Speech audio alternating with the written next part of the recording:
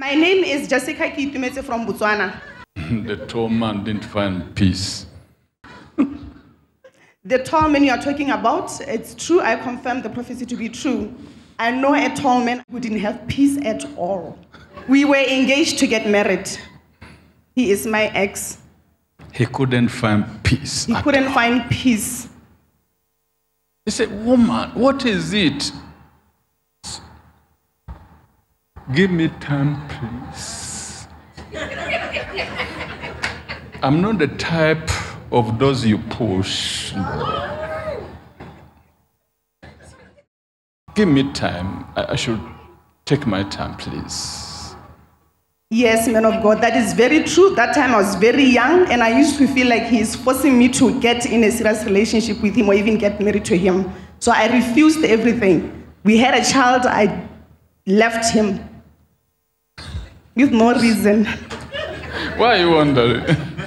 My name is Steven. I'm, I'm a pastor, and you know, like uh, when men of God reveals the, the deep things that happen in the life of people, I I I ask myself, what what is it that God can cannot do, and I realize that there is nothing that God cannot do.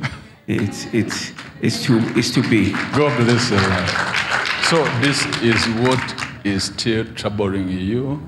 Yes, sometimes I think about it. The relationship issue is still a trouble. And I believe it is the problem. My marriage is in trouble. My, um, No we are peace. fighting everything with my current husband. We are fighting. It's war every day, week in and out. For years, we've been fighting and arguing. I don't even know the source. How do I know? Jesus.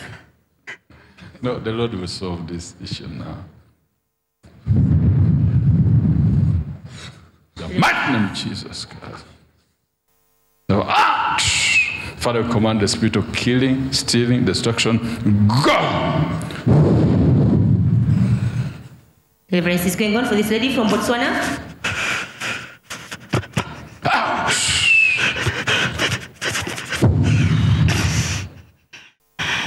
Lazarus. Three girls in the group, and there was a woman, the owner of the salon, Yes, I remember. who taught you bad manner. She's being delivered in Jesus' name. Mm, in my battle. About a group of three girls who taught me bad manners back in the past. I confirm the prophecy to be true because I had those three friends, and the other one in, was my best friend, and she taught me, she talked me into starting to drink and going to clubs. And that happened for a very, very long time. And we were best friends with that girl, and we only uh, stopped being friends last year. She had us alone. So I confirm the prophecy to be So true. this is the woman who has spoiled your marriage with the funny ideas that they are taking away your freedom. How can a man order you to sit at home, you, Yes, that is true. and you are never at home? Yes, Can I was learn- never. I was always out, even at night and Can you day. learn to sit at home as a mother? at a- You don't have children. I do have children. How many? I have three. The firstborn is the baby that I had with my ex, and he's 15 years old, and he's so depressed. He's not. You see my hand? Are three. Go and learn to be a good woman. The man loves you, but eh, eh, don't cause trouble. Yes? Don't cause trouble. Go, go, you are free.